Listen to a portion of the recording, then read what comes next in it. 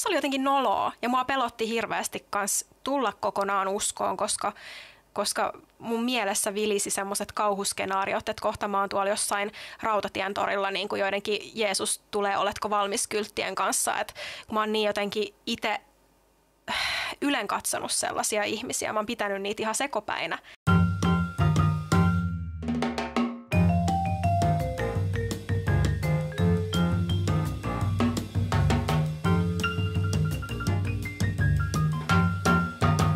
Moikka ja tervetuloa Kujalla podcastiin.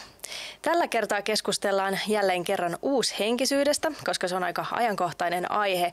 Ja nyt meillä on käsittelyssä sellainen kysymys, että minkä takia ihmiset uushenkisyydestä tulevat kristinuskoon juuri nyt? Ja vieraana minulla on täällä Anni Sinilahti. Tervetuloa. Terve, terve. Kiitos kutsusta. Ja mahtava juttu, että oot täällä ja sä teet Sydänmakasiini podcastia tuonne YouTubeen myöskin ja sulla on siellä vieraana ihmisiä, jotka on myös uushenkisyydestä tulleet uskoon ja kerrot siellä heidän tarinoita ja nyt sä sitten pääsit kertomaan omaa tarinaasi vähän tänne. Kyllä, kiva, että saan täälläkin jakaa. Joo. No hei, sulla on siis aika pitkä tausta uushenkisyydessä tai tavallaan aika pitkä matka, sä oot kokenut monenlaisia asioita, niin mitenkä sä päädyit sille uushenkiselle tielle?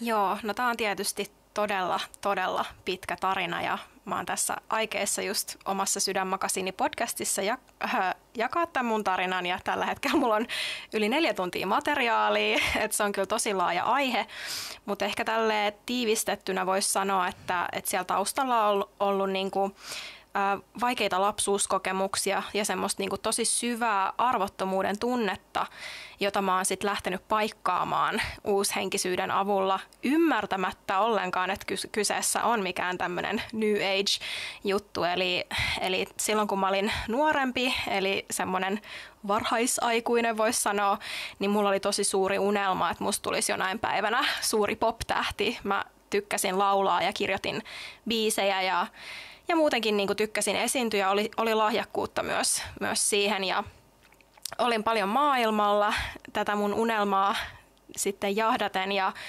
ja sitten jotain kautta törmäsin tällaiseen, tällaiseen kirjallisuuteen, missä sitten jotenkin luvattiin tosi suuria asioita, että kun, kun jotenkin käytät tiettyjä affirmaatioita, toistat tiettyjä voimalauseita, niin, niin sä pystyt saavuttamaan kaiken, mitä sä haluat ja kaikki sun unelmat. Että kaikki on jotenkin täysin omissa käsissä ja se oli tietysti tosi houkutteleva ajatus ja, ja oikeastaan aluksi myös tosi pelottava ja vieras ajatus, koska ehkä se oma lähtökohta oli aika semmoinen negatiivinen ja, ja niin kuin en, en oikeasti sitten ehkä kuitenkaan uskonut uskonut omiin kykyihin niin paljon, että se jotenkin niin kuin tuntuu, että se, se tarjosi semmoisen ratkaisun tosi moneen, moneen ongelmaan.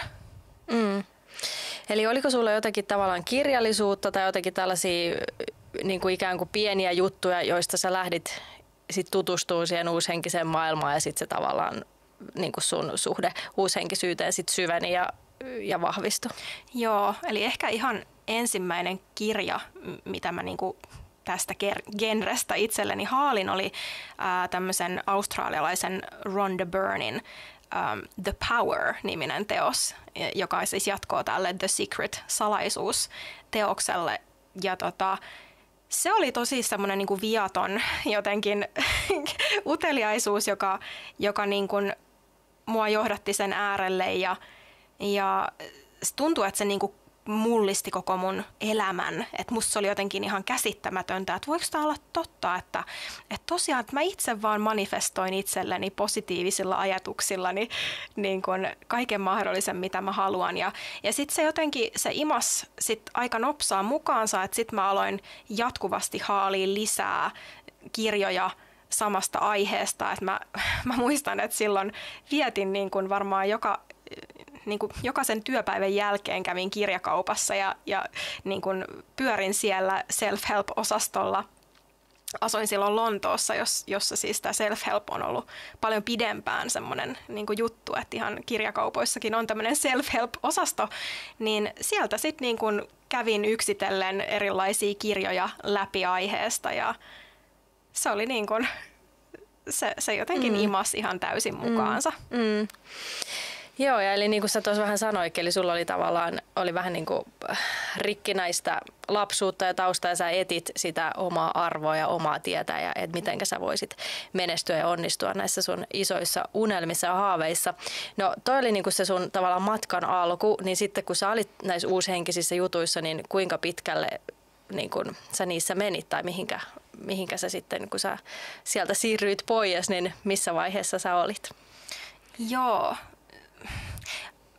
mä koen, että mä oon aina ollut semmoinen lopulta tosi rationaalinen ihminen ja mä oon aina kaivannut semmoisia konkreettisia todisteita omien uskomusten tueksi. Että mä en ole koskaan niin kuin hyväksynyt mitään asiaa vaan sille, että, että joku on sanonut, että näin se on. Ja jotenkin niin kuin se niin kuin omat mielenterveysongelmat, kun tosiaan niin kuin pitkälle niin kuin melkein kolmekymppiseksi asti kärsin, kärsin niin kuin vakavasta masennuksesta ja oli paljon itsetuhoisia ajatuksia, niin äh, hain sitten niin kuin apua kaikenlaisista retriiteistä ja, ja tota, itse asiassa mä suhtauduin aina tosi skeptisesti. Et mä en lähtökohtaisesti niin kuin mitenkään uskonut, että niistä olisi apua, mutta sitten mä kuitenkin niin kuin, päätin antaa niille mahdollisuuden, koska en mä oikein tiennyt mitään muutakaan tapaa.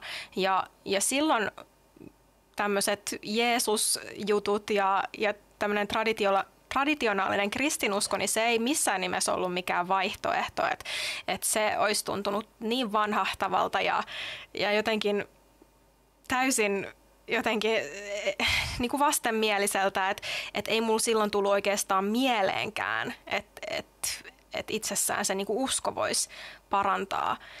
Et tota, ja ja sitten mä tosiaan niinku koin sellaisia tosi vahvoja onnellisuuden ja ilon tunteita, kun mä kävin tällaisilla eri retriiteillä ja tun, tun, niin tutustuin erilaisiin ajattelutapoihin ja, ja käytin kaikenlaisia affirmaatioita ja, ja niin kuin, että niistä sai välillä semmoista oikeasti aika humalluttavaakin onnellisuuden tunnetta ja, ja sellaista jotenkin, niin kuin, että, että se aina hetkellisesti tuntui siltä, että nyt mä oon löytänyt sen avaimen jotenkin kaikkiin mun ongelmiin, mutta sitten se jotenkin nyt jälkikäteen katsottuna on huomannut, että, että se oli semmoista jatkuvaa etsintää, että mikään keino ei oikeastaan koskaan sit niin kuin lopulta toiminut kauhean pitkän aikaa, että et sitten piti niin kuin lisää ja lisää haali erilaisia keinoja.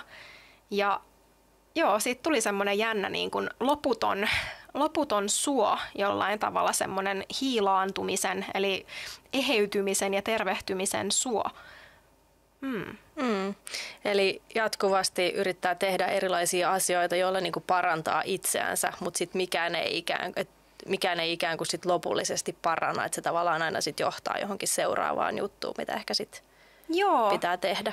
Kyllä, ja sitten jotenkin se, mä huomasin jossain vaiheessa, että et, et mä olin jollain tavalla ihan addiktoitunut siihen kirjallisuuteen ja koko ajan niin kuin haalin, katsoin videoita ja kuuntelin podcasteja ja kokeilin erilaisia energiahoitomenetelmiä ja jooga-asentoja ja meditaati- ohjattuja meditaatioita ja, ja, ja kaiken näköistä. Ja se oli vaan niin kuin, ja, ja mä tiedostin jo silloin, että, että jotenkin – mä jollain tasolla tiedostin jo, että, että tämä on jotenkin ihan hölmöä.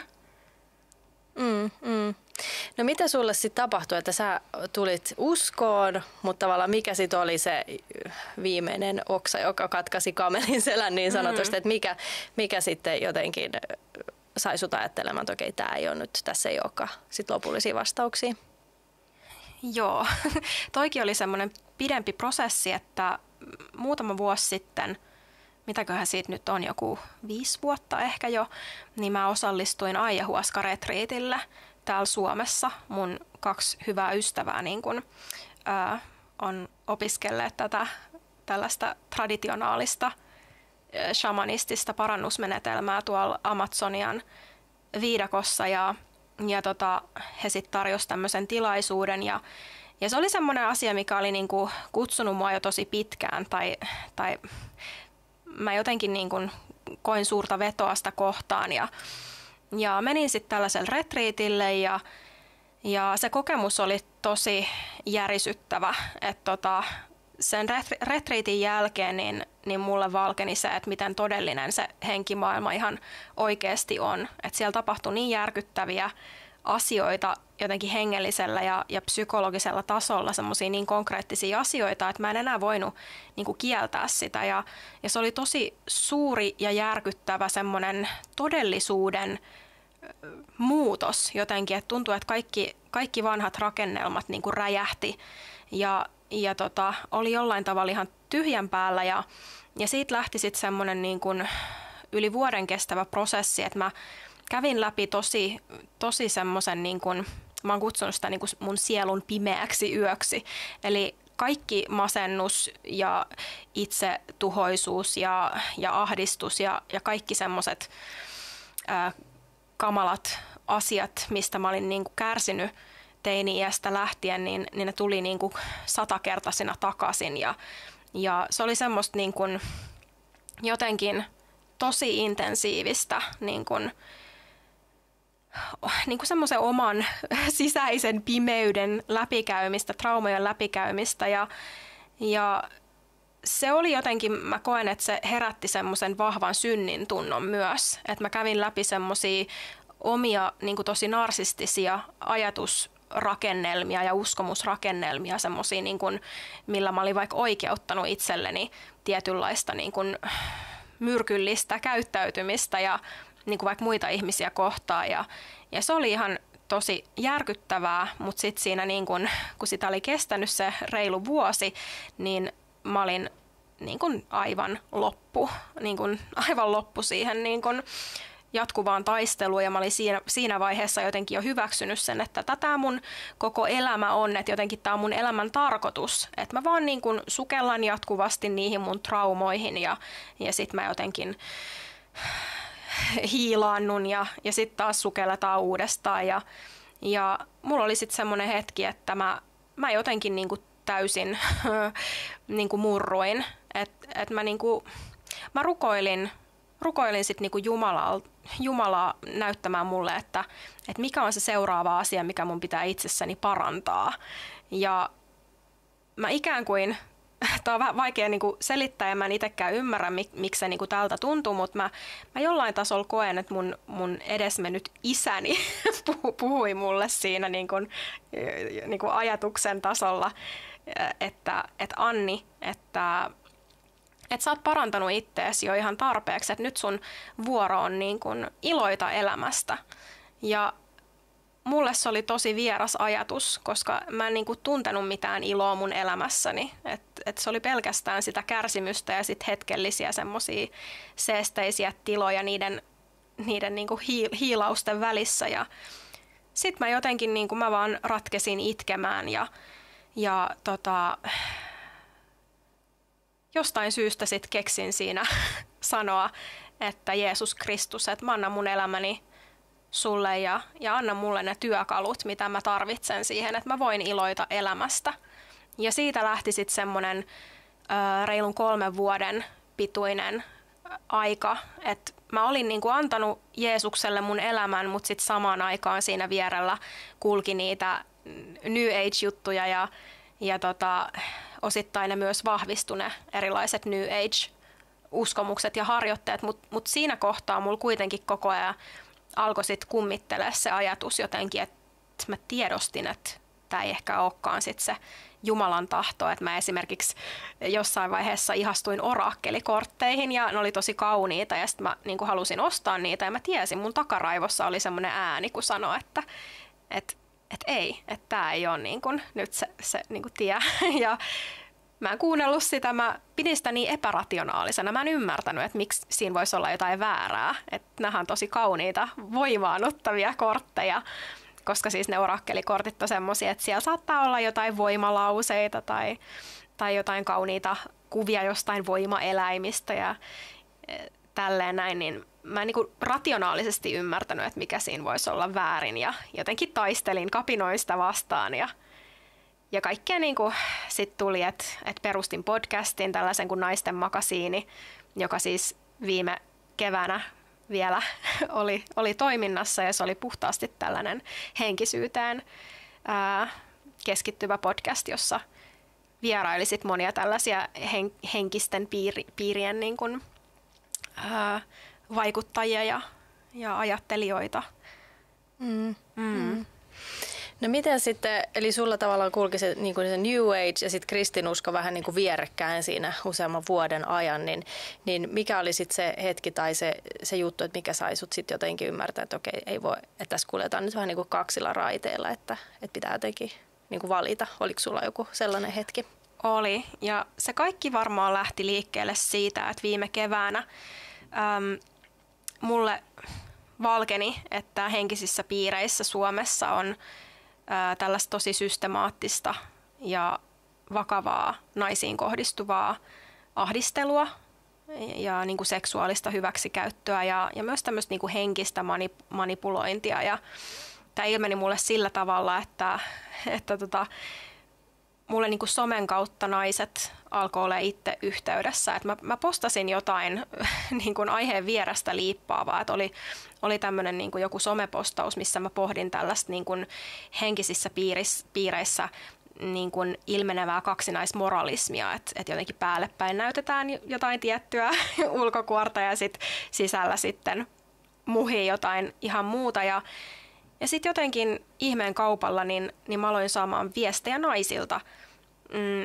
että et he on kokeneet niin kuin tosi tällaista hämmentävää toimintaa hyvin tällaisten tunnettujen ja suosittujen henkisten piirien niin kuin mieshenkilöiden taholta. Ja, ja sitten mä aloin ihan niin kuin tietoisesti, tai niin sitten kun mä tiedost, aloin tiedostaa tätä asiaa, niin sitten mun niin kuin kiinnostus heräsi ja, ja huoli heräsi.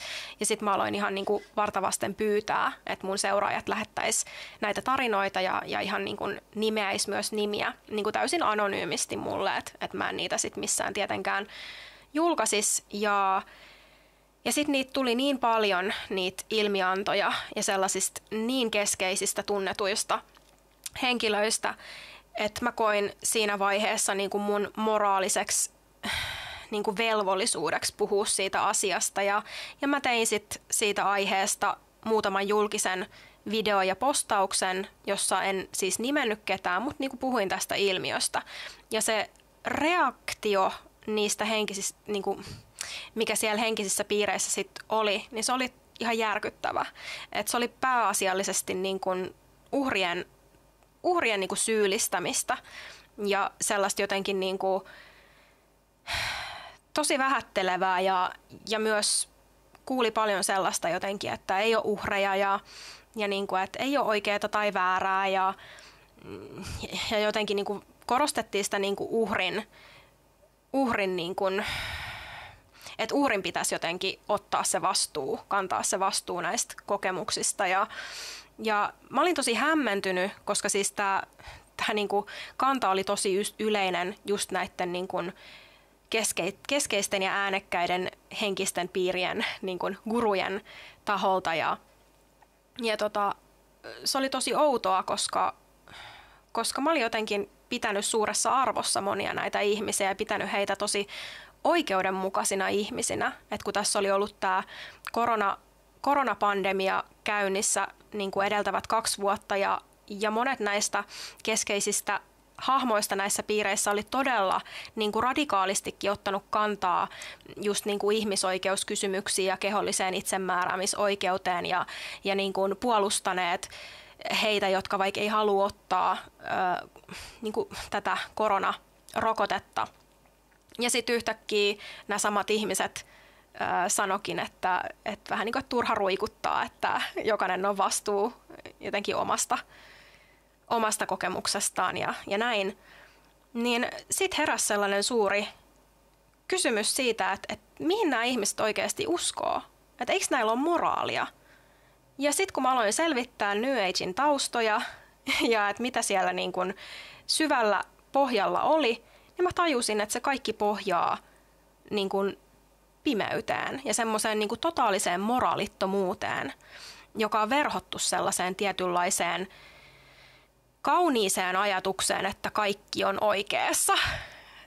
ja, ja, tota, ja sitten se jotenkin alkoi siinä, siinä mulle valkenemaan ja, ja järjen tasolla sit ymmärsin, ymmärsin niin totaalisen hyvin, että, että uushenkisyyden pohja on tosi niin hutera ja että se on täynnä pimeyttä. Mutta siinä vaiheessa mä en niin kuin vielä hyväksynyt sitä, koska jollain tavalla se oli silti, se ei, se ei jotenkin niin kuin mennyt mun kaalien, että no miten sit, mitä tekemistä täällä kaikilla on jollain orakkelikorttien kanssa, tai mitä tekemistä on sillä, että mä vaikka toistan jotain rakkaudellisia affirmaatioita peilin edessä, tai, tai, tai niin kuin, se oli jotenkin niin, niin outo yhtälö. Ja sitten mä aloin niinku rukoilemaan aktiivisesti niinku Jumalalta, että et Jumala näyttäisi mulle totuuden. Että oli se mikä tahansa, niin että hän näyttäisi mulle sen totuuden, koska et mä en vaan pysty mä en pysty niinku uskomaan, uskomaan näitä asioita pelkästään tämän niinku rationaalisen prosessin kautta. Et mun pitää myös jotenkin niinku kokea se ja nähdä se omin silmin. Ja, ja sitten mä, mä sain tällaisen tosi vahvan uninäyn, jossa mulle sitten avautui tämä todellisuus ja, ja mulle näytettiin, että esimerkiksi tämmöinen energiahoitomenetelmä, jota mä käytin itseäni, että se niin kun, kuulostaa tosi oudolta, mutta siis, että se vahvistaa mun yhteyttä saatanaan ja, ja siinä mä niin kun, sit jotenkin jouduin nöyrtymään sen edessä, että mun, mun täytyy niin luopua kaikista näistä mun uushenkisistä iha, ihanista orakkelikorteista ja, ja kirjoista ja, ja metodeista ja, ja tota, joo. Mm. Sen jälkeen se sitten jotenkin vahvistui, tota, mutta se oli tosi vaikea asia ottaa vastaan ja hyväksyä. Et mä tiesin, kun mä heräsin siitä, siitä unesta, että et mä voisin jotenkin ohittaa ja unohtaa tämän. Mutta tota, mm. Mutta sitten kuitenkin muistin sen, että kun mä olin rukoillut Jumalalta sitä, että hän näyttäisi mulle, niin mä olin luvannut, että ihan sama mitä se on, Jumala, mikä se totuus on, niin mä lupaan, mä lupaan ottaa sen vastaan, vaikka se olisi miten vaikea. Ja, ja siinä hetkessä mä jotenkin sitten niinku nöyryin sille ja, ja ymmärsin myös sen, että, että jos Jumalalta jotain rukoilee, niin olisi se tosi epäkunnioittavaa olla sit ottamatta sitä vastaan, sitä sitä totuutta ja, ja toisaalta mitä, sekä, mi, niin kuin, mitä sekin sitten viestisi Jumalalle, että jos, ja, niin kuin, että jos mä pyydän vastausta johonkin ja, ja sitten mä jotenkin ohitan sen, että kyllä mm-hmm. mä koen, että, että mulla oli jotenkin velvollisuus se sitten ottaa vastaan. Ja sitten sit aloin niin puhua tästä asiasta ja on mun Instagram-tilillä Fun Fairy Magic ähm, sitten jakanut äh, aika tarkkaankin tätä mun prosessia ja, ja sieltä löytyy tämän mun tota, unenkin semmoinen tarkka kuvaus, että jos kiinnostaa, niin sieltä, mm. sieltä voi käydä kuuntelemassa. Mm. Mm. No miten sulla sitten, miten tavallaan raamattu, liittyykö raamattu jotenkin sulla tähän sun prosessiin tai siihen, että, että mitenkä sä ajattelit, että, että Jeesus on todellinen tai kristinusko on totta? Raamattu on mulle ollut semmoinen hyvin vastenmielinen objekti. että tota, mä en ole juuri pitänyt sitä niin kuin minään tai niin kuin missään arvossa. Et kun on kahlannut noita kaikki uushenkisiä self-help-kirjoja, niin mä jotenkin koin aina, että, että ne on niin jotenkin semmoisia konkreettisia ja jotenkin niissä on semmoisia niin täsmämetodeja ka- kaikkeen mahdolliseen ongelmaan ja mulle niin kuin raamattu näyttäytyy aina jotenkin tosi semmoisena abstraktina ja ja vanhanaikaisena juttuna. Ja mä oon niin kuin, tosiaan kun mä oon teolo- teologiaa nyt opiskellut melkein neljä vuotta, niin tota, on ollut sitten välillä pakkokin tarttua siihen raamattuun. Tosin mun opinnoissa siis en, en ole juurikaan, juurikaan niin kuin eksegetiikkaa tai, tai niin kuin raamatun tutkimusta opiskellut, että et enemmän suuntautunut uskontopedagogiikkaa ja, ja filosofiaa ja tämmöisiin juttuihin, mutta mutta sitten sit välillä sitä raamattua aina availlut ja, ja aina jotenkin niinku vihasena heittänyt se jonnekin kaapin pohjalle, koska mä en ole ymmärtänyt sitä. Ja, ja sitten sen keväisen niin kun uskon vahvistumisen jälkeen, ja kun mä tosiaan luovuin mun kaikista näistä New Age-tavaroista, niin sitten mä aloin pikkuhiljaa lukea raamattua. Ekaan silleen hyvin niin kuin valikoiden, että, että saatoin vaikka jotain yhtä avainsanaa hakea ja etsiä, että mitä raamattu sanoo vaikka just jostain noita jutuista tai, tai tämmöisistä. Mutta sitten sit niinku pikkuhiljaa alkanut lukea ihan niinku koko, kokonaisia kirjoja ja kokonaisia kappaleita sieltä. Ja, ja se on, niinku, se on niinku ihmeellistä, että et millainen niinku vaikutus raamatulla on ollut mun elämään. Että et tota, nyt voin niin kuin sanoa jokaiselle ihmiselle, joka vaikka siellä uushenkisyydessä on ja joka kokee olevansa jollain tavalla riippuvainen tällaisista self-help-kirjoista, niin, niin mikään niistä ei vedä vertoi raamatulle.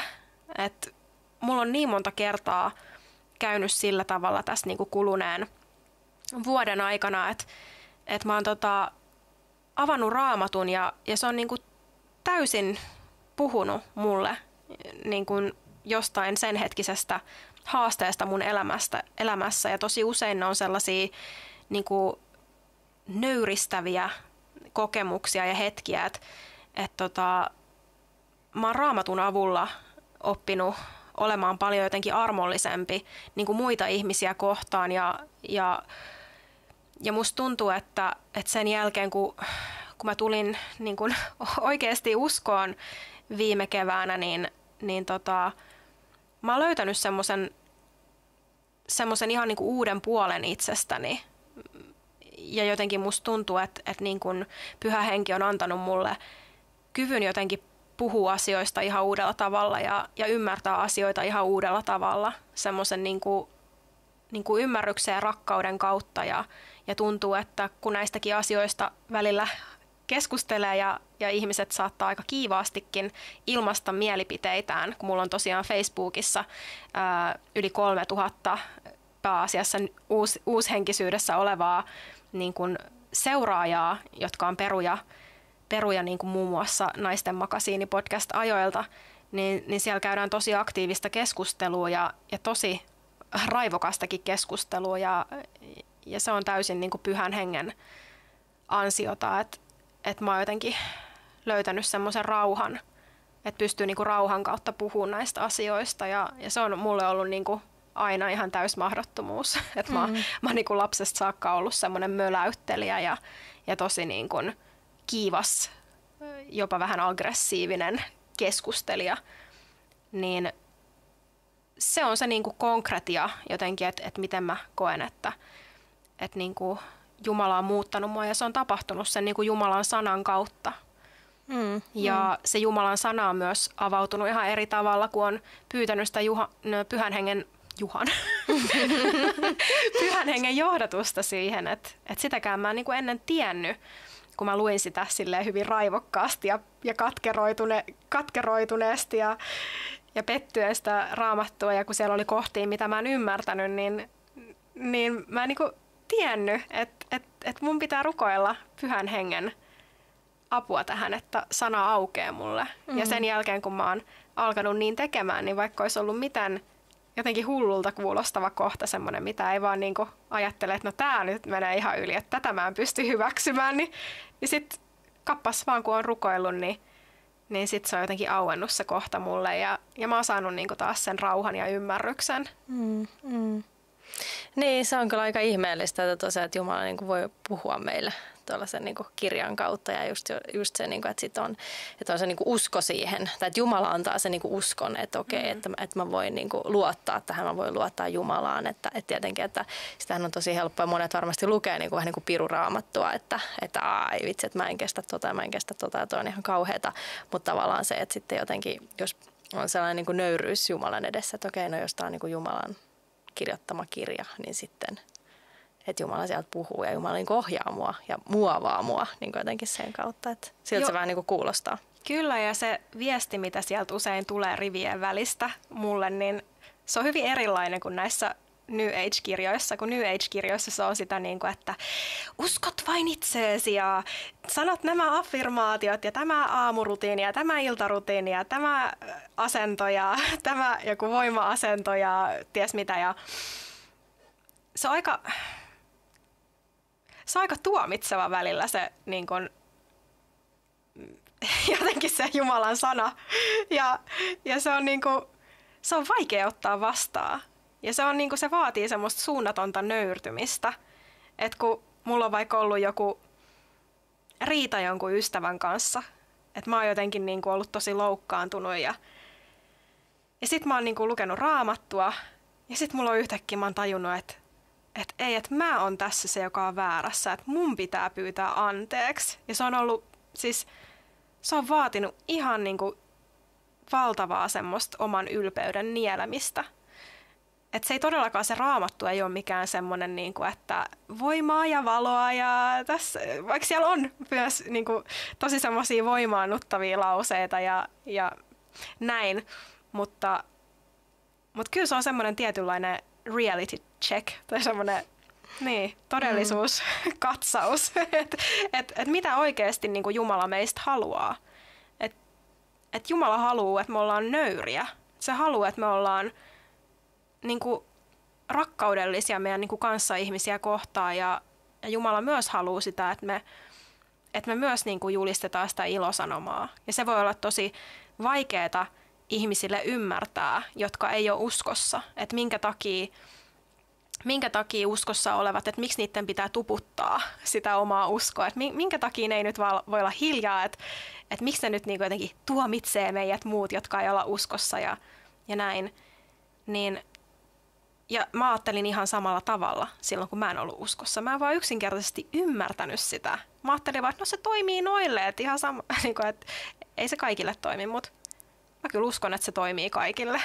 Mm. ja, ja mä koen sen myös semmoisena moraalisena velvollisuutena, että mä jaan sitä, jaan sitä ilosanomaa samalla tavalla kuin mä jaoin sitä tietoa siitä niin kuin henkisten piirien ahdistelusta. Mm. Et, et silloin kun mä tiedän, että on joku asia, joka voi ihmisiä auttaa tai auttaa ihmisiä, mm. niin kyllä mun pitää se niin kuin kertoa. Mm. Että olisi se musta tosi vastuutonta, että, että jos mä oon saanut tosi suuren avun niin kuin pelastuksen, oikeasti kokonaisvaltaisen niin kuin avun ja pelastuksen siitä, että mä oon antanut mun elämäni Jeesukselle, Kristukselle, niin olisi se niin kuin tosi itsekästä, että mä en sitä kellekään muulle jakaisi sitä tietoa. Mm. Että mulla meni silloin se tosiaan yli kolme vuotta sen, sen mun, tai sen, sen jälkeen, kun mä silloin ääneen lausuin Jeesuksen Kristuksen nimen ja annoin mun elämäni hänelle. Ja, ja mun elämä ihan oikeasti siis se, se niin kuin lähti ihan eri urille. Et, et nyt jälkikäteen katsottuna niin mä en ymmärrä, että miten, miten mun elämä onkaan voinut tehdä semmoisen niin täyskäännöksen. Just se, että mä vaikka hain teologiaa opiskelemaan ja, ja niin, kuin niin moni asia jotenkin loksahti kohalleen. Niin tota, mutta siinä oli, niin kauan kun mä olin siellä uushenkisyydessä, niin, niin mua jotenkin hävetti se niin kuin sanoa ääneen. Että kun se oli jotenkin musta niin se oli jotenkin noloa ja mua pelotti hirveästi kans tulla kokonaan uskoon, koska, koska mun mielessä vilisi semmoiset kauhuskenaariot, että kohta mä oon tuolla jossain rautatien torilla niin kuin joidenkin Jeesus tulee, oletko valmis kylttien kanssa, että kun mä oon niin jotenkin itse ylen katsonut sellaisia ihmisiä, mä oon pitänyt niitä ihan sekopäinä, niin jotenkin se mun ylpeys hankas koko ajan vastaan. Et mä ajattelin, että, että joo, kyllä mä voin niinku tämän pitää tämmöisenä henkilökohtaisena totuutena ja niin kuin, että et Jeesus on mut pelastanut, mutta en mä nyt meistä kuuluttaa tai tuputtaa kellekään, koska, koska sit ihmiset ajattelee, että mä oon semmoinen kauhea tuputtaja ja mm, jotenkin vähän mm. ehkä vajaa älynen ihminen, että et mä uskon tällaiseen niin kuin, hömppää, vaikka tiesin, että se ei ole mitään hömppää, vaan se, se on niin kuin todellisinta totta. Niin se on kyllä tosi tärkeä oikeasti aidosti ja oikeasti niin kuin hyväksyä se, että kuka Jeesus on ja mitä hän niin kuin meidän vuoksi on tehnyt ja, ja että se että antautuu ihan täysin sille ja on ylpeä siitä omasta uskosta. Mm. Että se on musta todellinen tragedia, että tässä niin kuin yhteiskunnallisessa tilassa, missä me ollaan, niin jotenkin se niin kuin kristiusko varsinkin ja, ja Jeesuksen seuraaminen, niin se on jotenkin nolo asia. Että se on niin kuin ok, jos sä oot semmoinen tapakristitty ja, ja et nyt ihan oikeasti usko. Et vähän silleen, että joo, että hyväksyt ne tietyt moraaliperiaatteet, että älä tapaa ja älä petä ja niin kuin tällaiset jutut.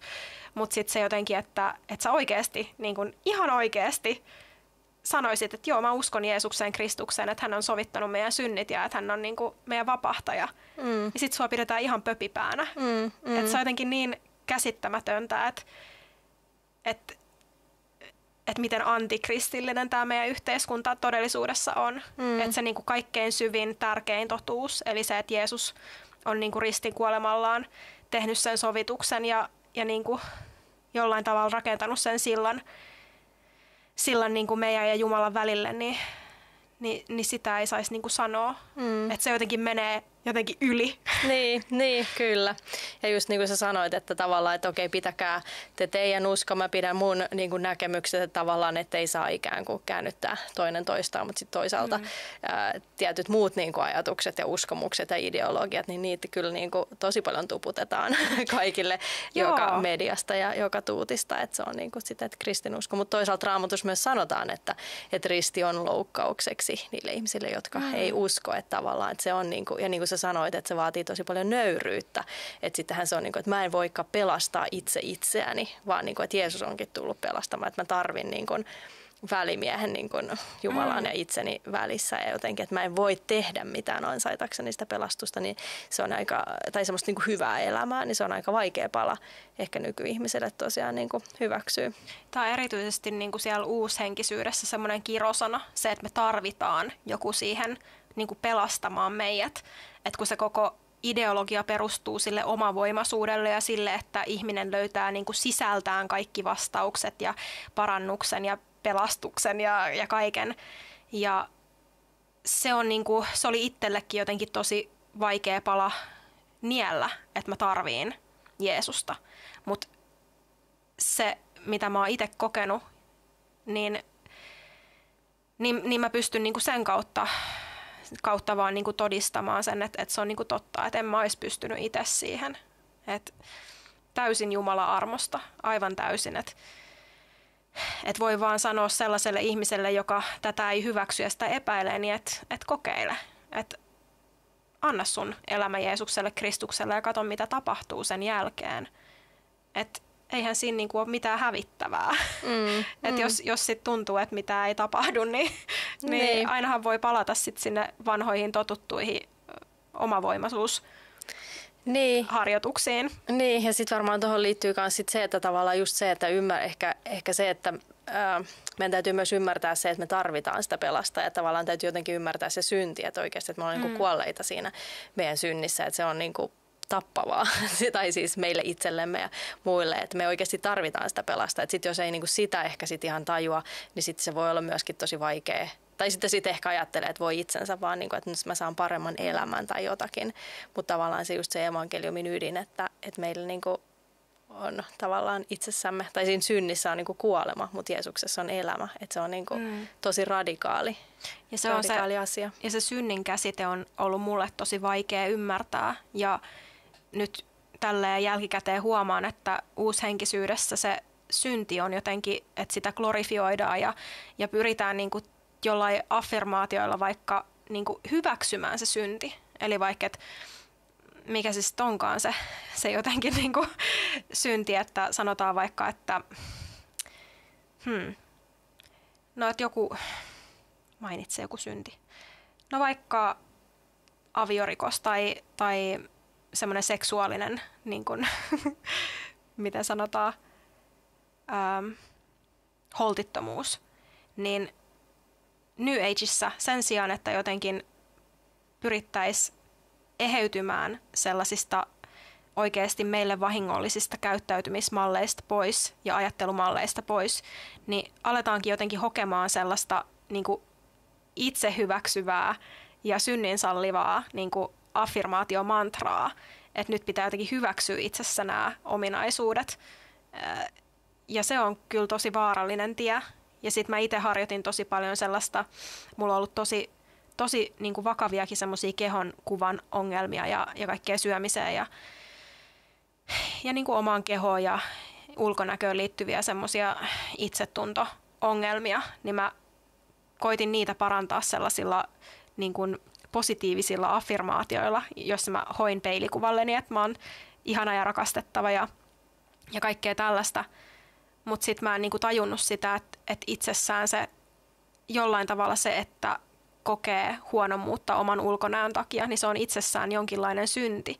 Että se, että me jotenkin arvotetaan itseämme sen ulkonäön kautta, niin se ei ole se, mitä Jumala meistä haluaa. Meidän ei tulisi ollenkaan keskittyä siihen ulkonäköön. Meidän ei tulisi hokea mitään affirmaatioita, että rakastan itseäni äh, niin kuin tämän painoisena ja tämän näköisenä tai, tai mitä, vaan meidän pitäisi oikeasti rukoilla sitä, että se jotenkin se pinnallisuus irtoaisi meistä pois, koska se on se niin kuin, semmoinen ihan hirvittävä ohjelmointi, joka meihin on syötetty elokuvien ja TV-sarjojen mainosten kautta semmoinen niin kuin pinnallisuus, että että se on ollut aika järkyttävääkin tajuta, että tämmöinen kehopositiivisuuskin jollain tavalla niin, niin, niin kuin kauniilta kuin se, se vaikuttaakin ja tärkeältä kuin se vaikuttaakin, niin se oikeastaan vaan ruokkii myös sitä, sitä syntiä, joka on se, se pinnallisuus ja se, että me keskitytään jotenkin niin kuin hyväksymään itsessämme jotain ulkonäöllisiä asioita, kun todellisuudessa meidän tulisi keskittyä siihen, että mitä meidän sisällä tapahtuu, että kuinka mm. puhtaita ja kauniita meidän ajatukset on, kuinka kauniita ja pyyteettömiä meidän niin kuin, intentiot on ja miten me kohdellaan meidän lähimmäisiä. Et mä en ole vielä törmännyt uushenkisyydessä sellaiseen affirmaatioon, missä toitotettaisiin vaikka sitä, että olen rakastava lähimmäisiäni kohtaan. että se on kaikki sellaista, niin kuin, että minä, minä, minä, minä olen kaunis, minä olen hyvä, minä olen älykäs. Mm. Mä, mä toistin sellaistakin affirmaatiota, affirmaatiota, että aivoni ovat kuin Google. okay. koska, wow. koska mulla on ollut niin kuin jotenkin aina vähän semmoinen huono muisti. niin, niin tota, ja, ja voin sanoa, että se niinku auttoi hetkellisesti, mutta mut, mut se oli niin. niinku, nyt jälkikäteen katsottuna se oli aivan niinku tajutonta niinku ajan hukkaa jollain tavalla myös Jumalan pilkkaa. Niin, että niin. et ylipäätään kokee tarvetta keskittyä sellaisiin asioihin, että sehän on lääke niin kuin tämän sairaan maailman ongelmiin. Ja jotenkin, mm. että et sen kautta me niin kuin mukaudutaan tähän sairaaseen maailmaan. Mm, mm. Niin ja just, että Jeesus puhuu siitä, että, niin kuin, että sit meidän sydämestä tavallaan sieltä sydämestä lähtee se paha tai se hyvä, että tavallaan se, että kun Jeesus muuttaa meidän sydämeen, muuttaa meidät sisältä, niin sitten tavallaan meidän kaikki tavallaan muuttuu, eikä niin, että mm. sitten niin kuin ulko, ulkokuorta niin kuin tuunaamalla tai muuta, niin sitten se, sit se muuttuisi. Mutta hei, tota, vielä sellainen kysymys tässä, että tota, okei, eli sulla on niin kuin tällainen matka ollut, niin nyt sitten on aika paljon monia muitakin ja erityisesti ehkä tässä viimeisen vuoden tai kahden vuoden aikana, jotka on myöskin sit uushenkisyydestä jotenkin tullut niin kuin kristinuskoon tai uskoon, niin tota, onko muilla tavallaan vastaavia kokemuksia kuin sulla vai mitä sä ajattelet, että mitkä on niitä sellaisia yhdistäviä tekijöitä, että miksi, miksi just nyt sit ihmisiä, ihmiset pettyy ehkä siitä siihen uushengellisyyteen ja tulee usko? Joo, no Mulla on selvinnyt, että tätä uushenkisyydestä kristinuskoon kääntymistä on tapahtunut ihan tässä läpi aikojen.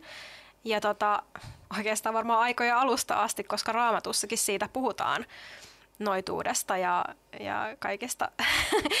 Mut tota, ja, ja on niinku ollut kirjarovioita ja ties mitä. Mutta tota, se, mitä silloin vuosi sitten tai viime vuoden keväällä tapahtui silloin, kun mä itse tulin uskoon, niin, niin siinä oli kyllä semmoinen – isompi porukka, tai, tai niin kuin, miten sanoisin, niin, joukko, joukko uushenkisyydessä olevia ihmisiä, jotka havahtu siihen äm, hen, niin kuin uushenkisyyden moraali, moraalittomuuteen. Ja, tota, ja se tuli just tämän ahdistelukeissin kautta.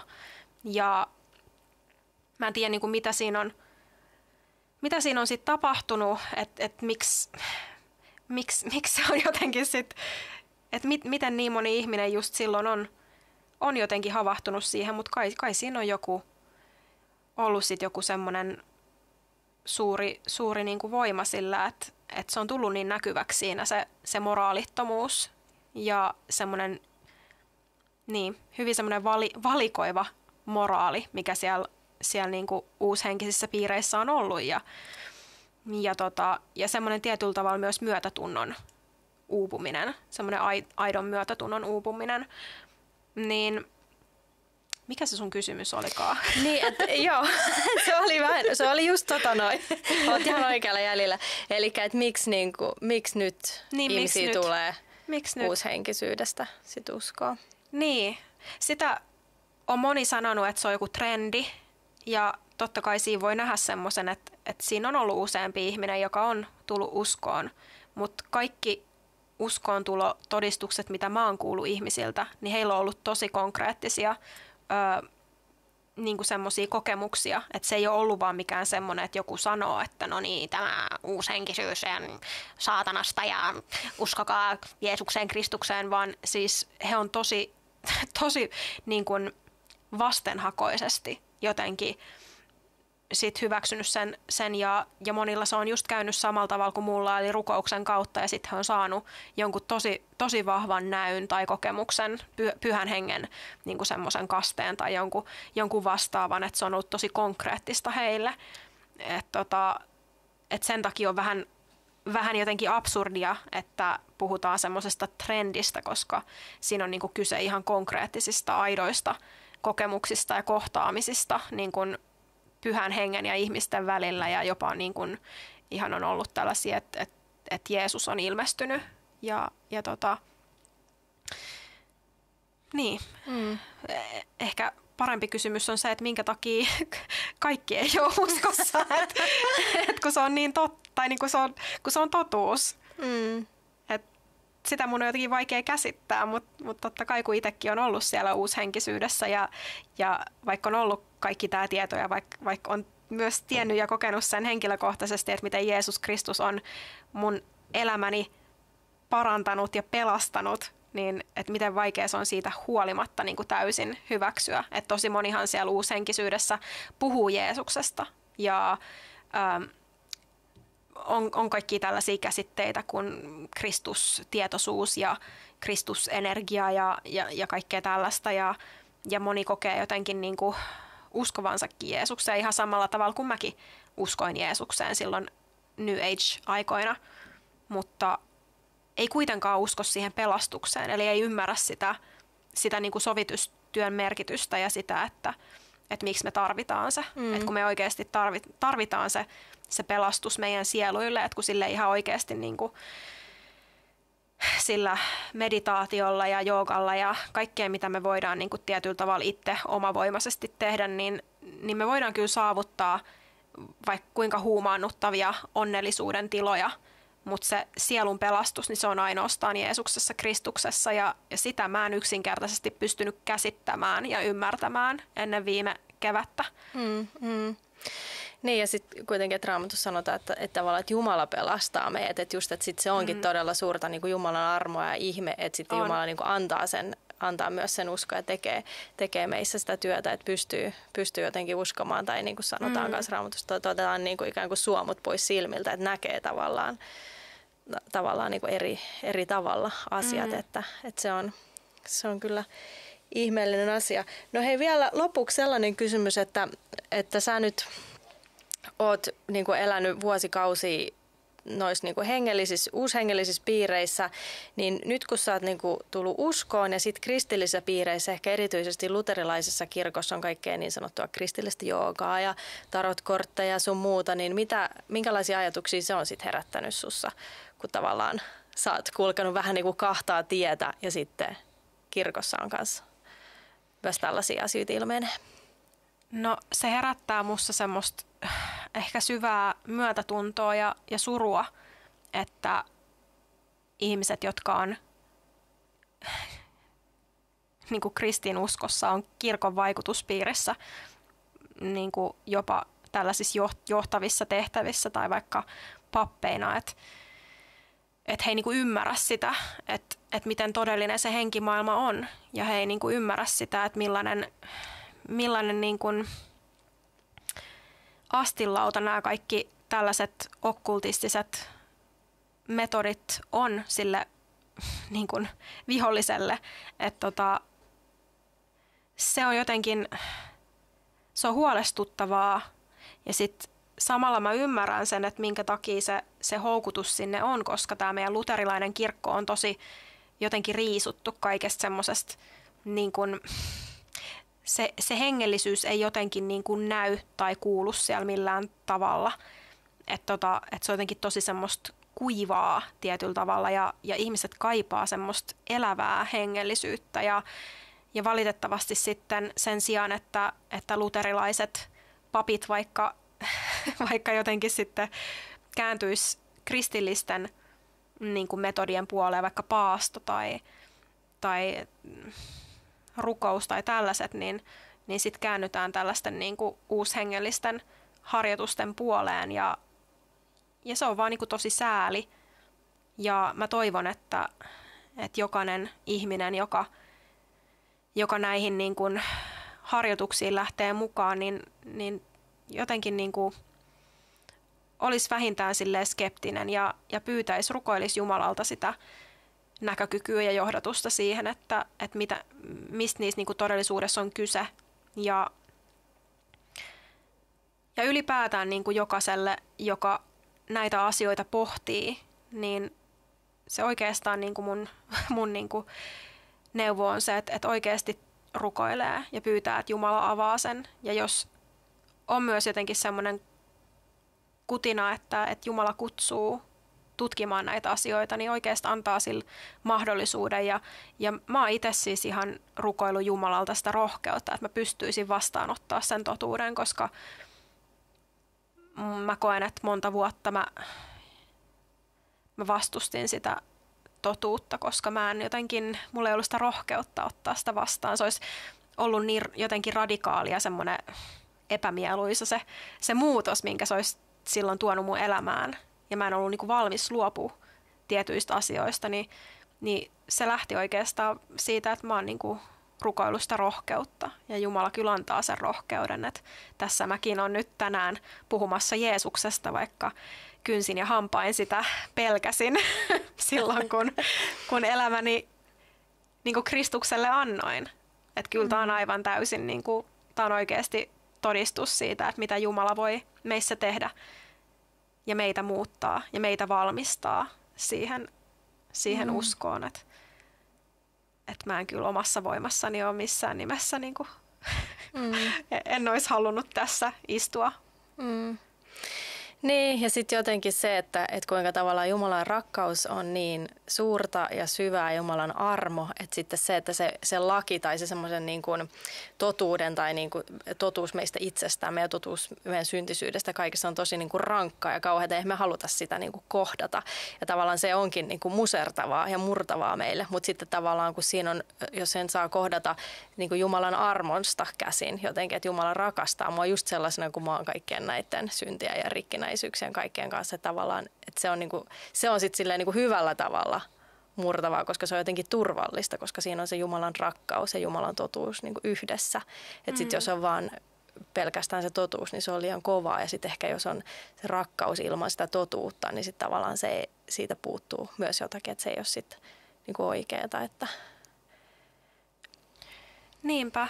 Kyllä se niin kuin sun, synnin tunto on suuri lahja ja Jumala sen meille antaa, kun me sitä niin kuin tarpeeksi pyydetään ja halutaan. Ja, ja se on ehkä kaikkein just se pelottavin asia tässä, mutta mä haluan sanoa senkin kaikille ihmisille, että, että ei sitä synnin tuntoa tarvitse pelätä. Että se, on, se on ihan tosi rankkaa nähdä itsessään ne epämieluisat asiat ja, ja nähdä, että on vaikka toiminut Jumalan tahtoa vastaan, mutta se on myös äärimmäisen vapauttavaa, koska silloin me päästään siitä synnistä eroon, me päästään siitä niin kuin kahleesta irti. Ja jotenkin moni voi kokea se jotenkin, että jotenkin semmoinen pelkkä synnin käsite on jotenkin tosi tuomitseva ja, ja, ja semmoinen hirveän negatiivinen asia, mutta oikeasti se, se, että Jumala on niin kuin sanassaankin ilmoittanut siitä, että mitä hän meistä tahtoo ja hän on ilmoittanut sen, että mikä on syntiä, niin se on meitä ihmisiä varten, että, niin kuin, että me päästäisiin lähemmäs Jumalaa ja sitä hänen ääretöntä rakkautta, että se synti kahlitsee meitä ihmisiä. Ja eräs ihminen just tuolla jossain Facebookin puolella sanoi sitä, että, että että jotenkin, että eikö se ole jotenkin julmaa Jumalalta, että hän ei anna meidän elää täysillä tätä meidän elämää, että, että meidän pitäisi jotenkin niin kuin välttää syntiä. Ja, ja mä niin kuin totesin siihen, että, että Jumala juurikin haluaa, että me elätään sitä meidän täyttä elämää ja se on ainoastaan mahdollista silloin, kun me luovutaan meidän synnistä, koska se synti pitää meitä niin kuin kahlittuina. Se, ei, se, se estää sitä, että me päästäisiin lähelle Jumalaa ja, ja oikeasti niin kuin se, kaikki se niin kuin synnistä luopuminen, niin se on meitä itseämme varten. Ei se ole Jumalaa varten. Ei Jumala, niin kuin, Jumala selvii ilman meitä. hän selvii ihan, hän pärjää ilman meitä, mutta me ei pärjätä ilman Jumalaa.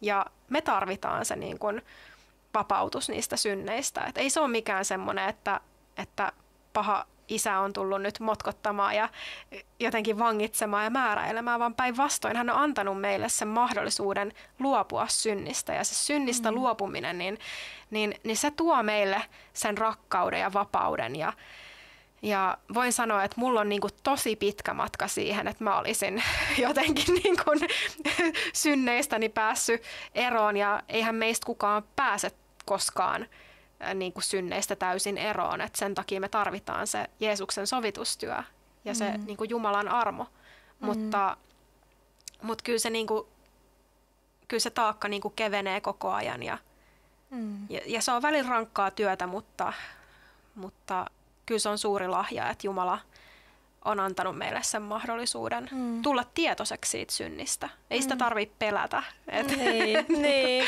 niin, ja sitten just se, että sit se on se synti on se, mikä erottaa meidät sit siitä Jumalasta, Jumalan niin rakkaudesta, mutta sitten että Jeesus sovittaa sen, niin tavallaan meidän ei tarvi olla. Et sit, mm. Ja sitten Jumala näkee meidät ilman sitä syntiä tai näkee meidät ikään kuin Jeesuksen kautta, sen sovitustyön kautta niin kuin ilman syntiä. Ja toki sitten jokainen meistä kasvaa siinä, että saa niin kuin kilvotella, että, että se, mm. seuraa Jumalaa ja tekee niitä valintoja joka päivä, mutta myös, että Jumala antaa meille sen voiman sitten tehdä niin kuin pyhän hengen kautta ja tietenkin hänen sanansa meitä vahvistaa ja opastaa, että, että saadaan niin kuin kasvaa, että se on hieno asia, että saadaan olla kaikki kasvumatkalla Niinpä. kuitenkin tässä uskossa. Että. Yes. No hei, kiitos tosi paljon Anni, että tulit tänne jakamaan sun elämän tarinaa ja sun matkaa. Kiitos. Oli ilo olla vieraana ja joo. Joo, kiva. Ja kiitos kaikille kuulijoille ja katselijoille myöskin. Ja palautetta voi lähettää osoitteeseen kujalla.podcast.gmail.com.